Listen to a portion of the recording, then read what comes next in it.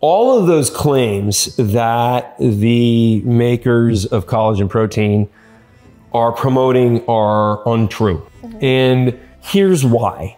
The idea that they're claiming is that if you eat collagen, that your collagen will be better. The two have nothing to do with each other. When you eat protein, the body breaks it down into essential amino acids, and then anything that's not essential amino acids it might be included in whatever that food is, if it's collagen protein, maybe. So the body makes the non essential amino acids, and then whatever essential amino acids that happen to be there get assembled into human proteins, which can potentially be appropriated for healthy skin.